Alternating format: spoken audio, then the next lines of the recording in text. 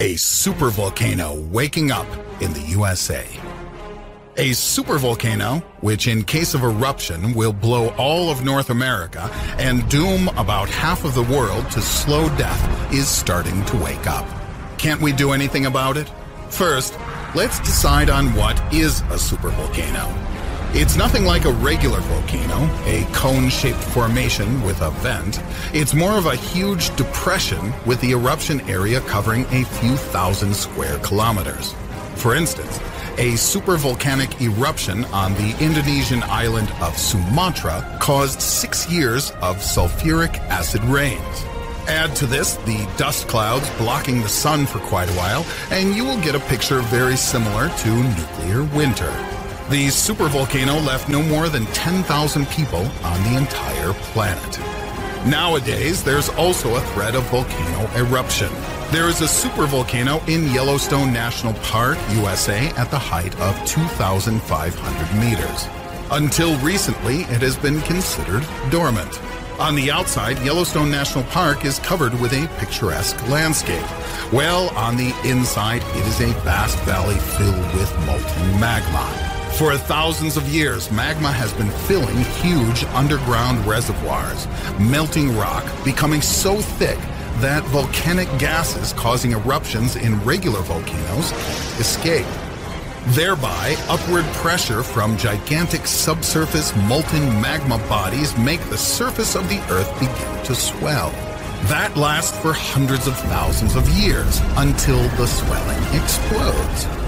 According to scientific data, the period between supervolcanic eruptions constitutes around 600,000 years. Based on that, we are bound to witness the next cataclysm.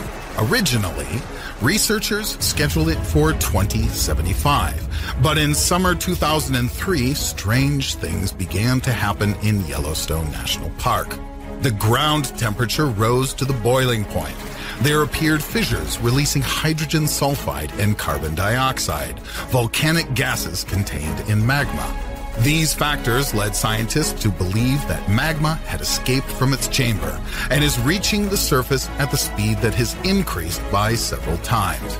Due to that, the time the volcano was believed to erupt was changed by almost 50 years. While magma is at the depth of 10 kilometers from the mouth of the supervolcano, it's too early to worry.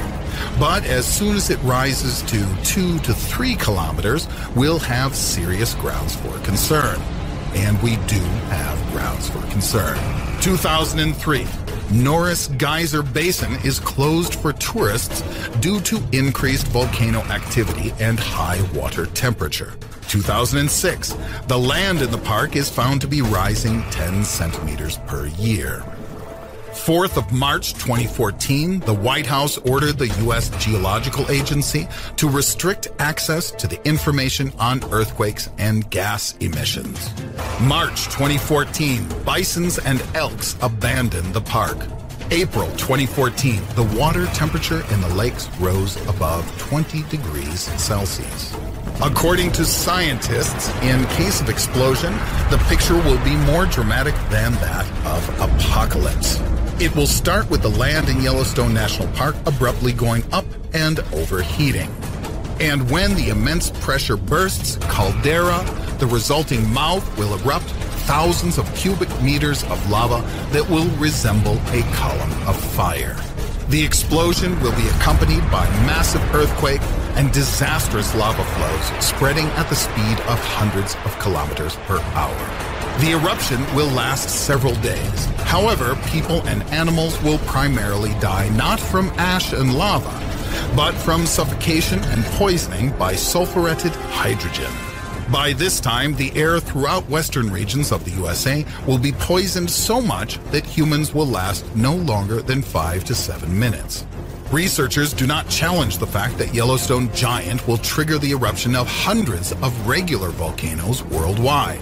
Furthermore, the eruption of volcanoes situated on the ocean bed will generate numerous tsunamis, which will flood coastal areas and all island countries. What will follow can be described as volcanic winter. The U.S. President's Council of Advisors on Science and Technology has come to the conclusion that will be impossible to rescue the entire population. A few months' time before the explosion we'll see the evacuation of major scientists, military servicemen, high-tech experts, and billionaires.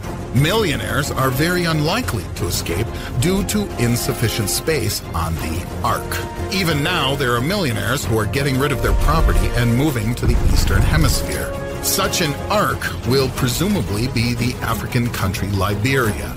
That's where the passengers of the Ark will try to hole up for several years in an underground bunker. So, when will the supervolcano erupt? Nobody knows for sure, but that will be quite a sight. Do you know how to survive a supervolcano explosion? Write your answer in the comments below. If you liked our video, please push the like button and subscribe to our channel. There's lots of fun stuff ahead.